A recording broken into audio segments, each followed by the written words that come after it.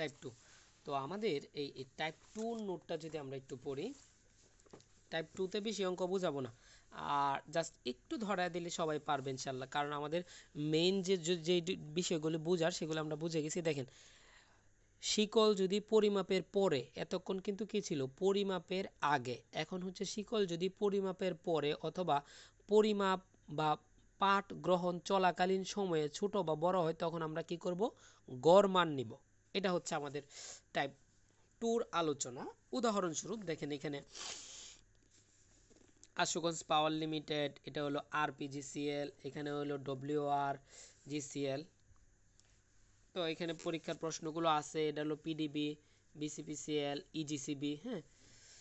তো সবগুলো পরীক্ষার প্রশ্ন মোটামুটি এখানে অ্যাড করা আছে। আশা করি এর বাইরে কিচ্ছু পড়তে হবে না, ইনশাল্লাহ। তো টাইপ টু যেটা পঁচিশ মিটার একটি চেইন দ্বারা এক হাজার প্রকৃত দৈর্ঘ্য মাপতে গিয়ে দেখা গেল, চেইনটির দৈর্ঘ্য চব্বিশ দশমিক নাইন মিটার। তাহলে পরিমাপকৃত দূরত্ব কত? তাহলে পরিমাপকৃত দূরত্ব কত? একটু ভালো মতো বুঝেন, এখানে কিন্তু অঙ্কটা একটু পেঁচানো আছে, ঠিক আছে? এবং এই অঙ্ক, এই ধরনের অঙ্কগুলি কিন্তু আমাদের পিডিবিতে আসে।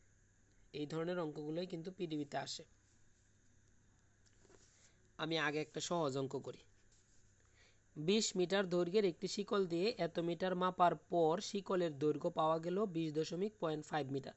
প্রকৃত দৈর্ঘ্য কত? লাইক দ্যাট এই সহজ অঙ্কটা করি এবং এই অঙ্কটা কোথায় আসছে? ইজিসিবিতে আসছে।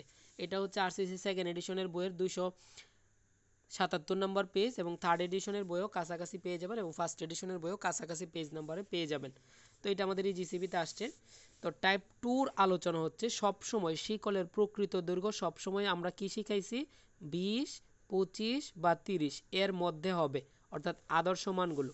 তাহলে এখানে বিশ মিটার শিকল দ্বারা মাপছে, শিকলের প্রকৃত দৈর্ঘ্য বিশ মিটার। দৈর্ঘ্য দিয়ে মাপার পর, এত মিটার মাপার পর শিকলের দৈর্ঘ্য পাওয়া গেল বিশ পয়েন্ট জিরো ফাইভ। তাহলে শিকল, এই যে দেখেন একটা শিকল দিয়ে কাজ শুরু করছেন। এখানে কাজ শেষ করছেন। শুরুর সময় ছিল বিশ মিটার। শুরুর পরে হয়েছে বিশ দশমিক জিরো ফাইভ মিটার। তো আমরা কি শিখাইছি? শিকল যদি কাজের শেষে অথবা পরিমাপ চলাকালীন সময়ে এই মধ্যবর্তী মধ্যবর্তী কাজ চলাকালীন সময়ে ছোট বা বড় হয়, তাহলে আপাত মানটা কী করতে হবে? গড় করতে হবে। তো গড় মানটা কী করব? শুরুতে ছিল যেটা এবং শেষে ছিল যেটা এই দুইটা যোগ করে আমরা দুই দ্বারা ভাগ করব। এই হচ্ছে কথা। অর্থাৎ শেষে বা পরিমাপ গ্রহণ চলাকালে যদি শিকল ছোট বা বড় হয়, তাহলে গড় মান নিব আমরা। এই ছকটা মনে রাখব। দুইটা যোগ করে দুই দ্বারা ভাগ করে দেব। তাহলে আমরা এখান থেকে একটা মান পাবো এবং সেটা হচ্ছে বিশ দশমিক জিরো টু ফাইভ মিটার। এটা পাইলাম। এখন দেখেন, এখানে গল্পটা কেমন হবে? বিশ মিটার শিকল দ্বারা মাপা শুরু করছেন। শেষে যায় দেখছেন বিশ দশমিক ফাইভ হয়ে গেছে, শূন্য পাঁচ হয়ে গেছে। তার মানে বিশ মিটার শিকল দিয়ে মাপা শুরু করলেও আপনি কিন্তু কাজ বিশ মিটার শিকল দিয়ে শেষ করতে পারেন নাই। তার মানে যেই দৈর্ঘ্যটা আপনি পরিমাপ করছেন, এটা অবশ্যই ভুল দৈর্ঘ্য। কারণ আপনি কিন্তু বিশ দিয়ে কাজ শুরু করলেও বিশ দিয়ে কাজ শেষ করতে পারেন নাই। আপনি শেষ করছেন বিশ দশমিক শূন্য পাঁচ দিয়ে। এই জন্য যে দৈর্ঘ্যটা আমরা পরিমাপ করছি, এটা সঠিক না, এটা ভুল।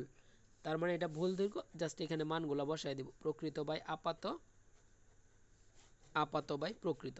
এখানে আমাদের বিশ বিশ দশমিক শূন্য টু ফাইভ, এখানে আমাদের মান হচ্ছে সাতশো পঁয়ত্রিশ দশমিক সিক্স, প্রকৃত মানটা কত? বাস এইটা হইল টাইপ টুর একদম ইজি অঙ্ক। এখন একটু যদি আমরা কঠিনে আসি, এই অঙ্কটা কি বলছে? পঁচিশ মিটার শিকল দ্বারা এক হাজার মিটার প্রকৃত দৈর্ঘ্য। এখানে জাস্ট বলে দিছে প্রশ্নকর্তা যে এই যে এক হাজার মিটার, এটা কিন্তু প্রকৃত দৈর্ঘ্য। পঁচিশ মিটার দিয়ে মাপলে আপনি প্রকৃত দৈর্ঘ্য, কারণ শিকলের আদর আদর্শ দৈর্ঘ্য পঁচিশ। তাহলে পঁচিশ আদর্শ দৈর্ঘ্য দ্বারা যে পরিমাপটা আপনি গ্রহণ করবেন, যদি আপনি মাপেন, তাহলে সেটা কত পাবেন? এক হাজার পাবেন। এত পাওয়া গেল। এখন বলতেছে যে চেনটির দৈর্ঘ্য এত মিটার। মাপতে গিয়ে দেখা গেল চেনটির দৈর্ঘ্য, তাহলে পরিমাপকৃত দূরত্ব কত? তাহলে এইখানে শুধু একটু প্যাচ লাগাই দিছে, এই কথাটা শেষে প্রকৃত কথাটা লাগাই দিছে। তার মানে এইখানে বিষয়টা কেমন হবে? শিকলের প্রকৃত দৈর্ঘ্য পঁচিশ মিটার। শিকলটা কাজ শুরু করছেন পঁচিশ মিটার দিয়ে।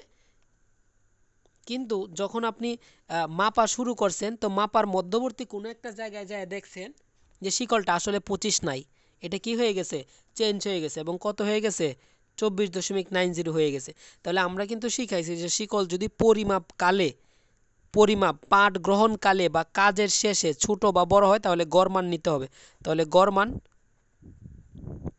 এটা শেষে বড় হোক বা পরিমাপ গ্রহণকালে ছোট বড় হোক, গড় মান দুই দ্বারা ভাগ। তাহলে দুই দ্বারা ভাগ করলে আমরা কিন্তু এখানে একটা মান পেয়ে যাব। সেটা হবে আমাদের চব্বিশ দশমিক নাইন ফাইভ। এখন প্রশ্ন-